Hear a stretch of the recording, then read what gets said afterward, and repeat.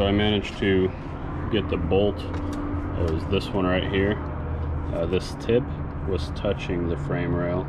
So I put the hook right here and it basically bent it back. Now I can uh, get this bolt, this bolt, and that bolt off. So I could get the bumper off in one piece.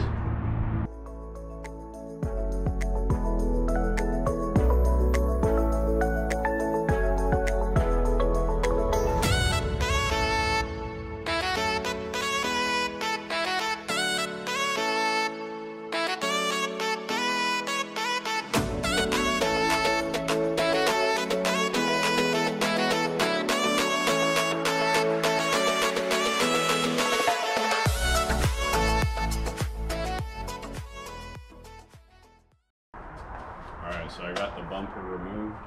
As you can see, uh, this bracket's just a little bit bent up. Uh, not a big deal, I'm going to get it straightened out. Uh, so I did do some measurements. Um, the distances here between the frame rails and some diagonal uh, distances and uh, this frame rail is bent this way a little over half an inch, so about 5 eighths or so, which is not that bad. Uh, it's going to be fairly simple to just pull it back. And uh, I'm also going to do some more measurements to see if it went up or down as well.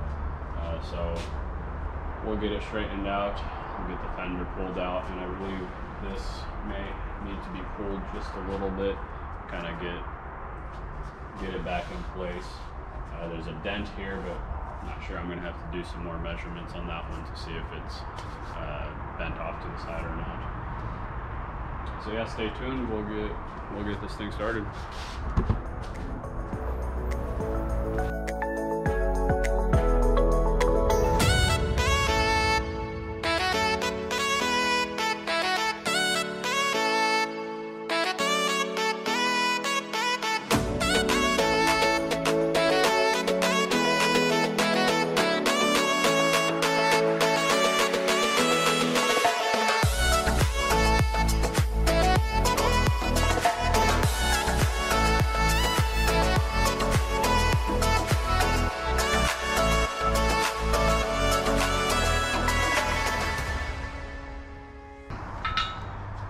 Actually looks straight. Just has a dent in here.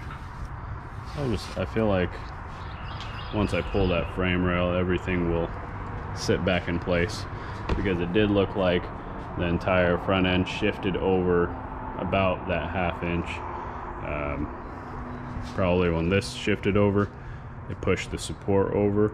I don't think that frame rail is where it should be uh, but I could tell the front end shifted because there was a about a half an inch gap right here. So once I pull that back everything should sit back where it should where it should be.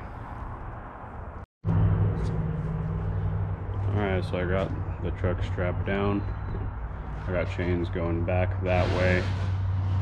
And uh, also got the chain because uh, the the frame rail, I did some measuring. It went uh, it went down about half an inch, and you can kind of see the kink here. It just and, and you could also look down it, and it looks like it shifted down compared to that one, which is straight. So I'm going to be pulling this way and up at the same time. Just going to try to knock out both uh, angles at once. So yeah, let's get started.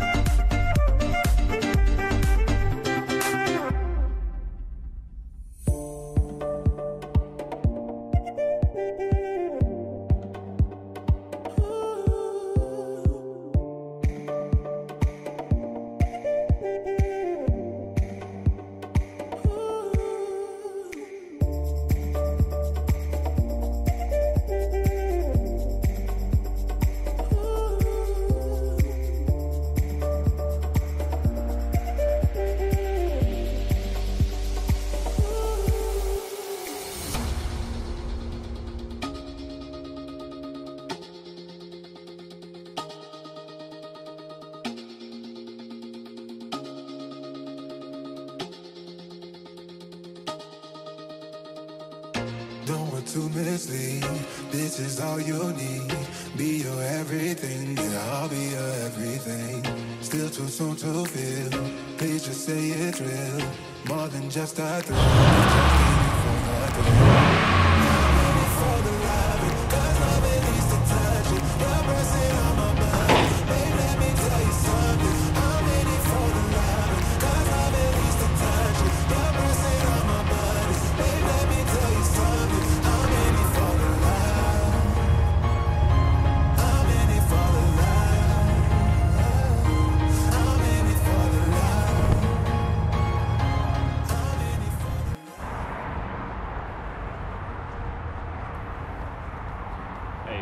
the 2016 Ram 1500 off the frame machine.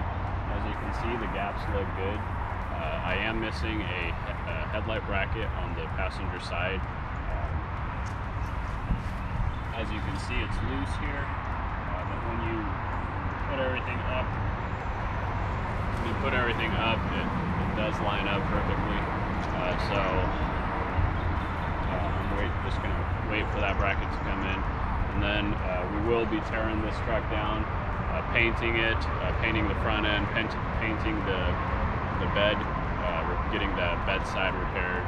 So stay tuned for that. Uh, I am gonna be putting this truck off to the side for a few a few weeks probably until I get my 2019 Ram 1500 repaired. I did just put it on the frame machine, and I did disassembled the parts truck 100%. As you can see, right here, I got the frame rails uh, cut off, and I got the apron removed. So stay tuned for that. Uh, the video is gonna the video is gonna come up shortly here. So yeah, thanks for watching.